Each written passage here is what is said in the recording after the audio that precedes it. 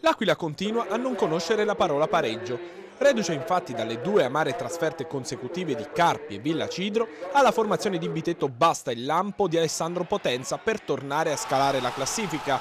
Senza Falconieri, ancora squalificato, tocca al tridente Galli Potenza Piccioni, far male alla Giacomense che arriva al Fattori coi galloni di terza della classe. Grigio-verdi all'inizio più reattivi, Rossi sfrutta la respinta di Ruggero ma spara al lato, mentre Modesti non ha problemi a controllare la conclusione velleitaria di Tanaglia. Intorno alla mezz'ora rischia Ferrani, ammonito un minuto prima travolge Onesti in maniera scomposta, per Maresca di Napoli non ci sono gli estremi per il rosso. Sul finale di tempo esce l'Aquila, Perfetti colpisce male il suggerimento di Prete, mentre precisi un minuto dopo il lancio di Onesti e il taglio di potenza. Il numero 7 è solo dinanzi a Poluzzi, esterno destro sul palo e prima frazione che si chiude a reti bianche.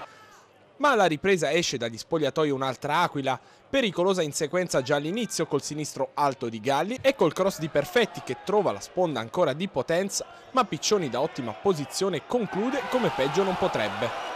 Proprio Piccioni, poco dopo, cicca fuori il destro su invito di Galli, quattro giri di lancette prima del triangolo perfetti Galli-Potenza.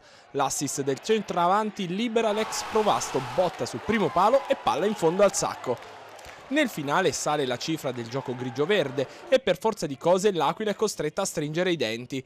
Il buco di Cavasinni libera l'appoggio di Staffolani per Bravo, il sinistro è decisamente impreciso.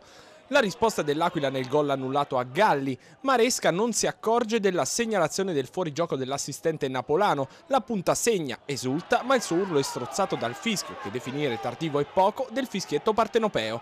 Ultimi secondi piacevoli per merito del sinistro alto di Peron e dalla ripartenza fulminea dell'Aquila vanificata dal passaggio errato di Galli ancora per potenza.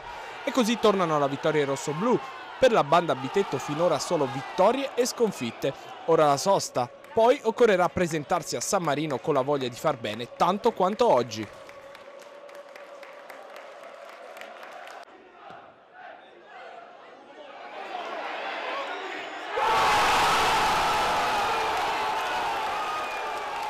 Dopo la delusione di domenica scorsa in Sardegna, insomma, che abbiamo perso quella partita in quel modo, dove purtroppo per, per quei due episodi diciamo, che c'erano stati oggi abbiamo chiesto alla squadra il riscatto e l'abbiamo avuto.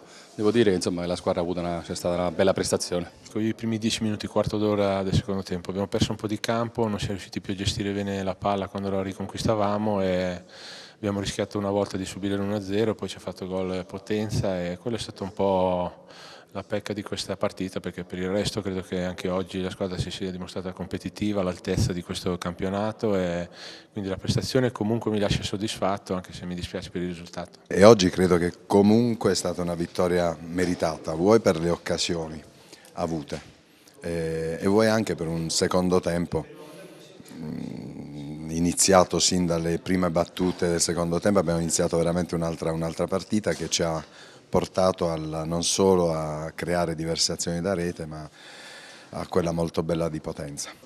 Stiamo riflettendo a fine partita, questa è una squadra che non, non conosce il pareggio, o vince o perde con i tre punti diciamo che funziona così, insomma, il mister eh, lui, lui, dice di dare sempre il massimo e di cercare di vincere le partite, quindi dove andiamo o in casa fuori il mister va per vincere la partita, però purtroppo spesso può succedere insomma, che si perde anche.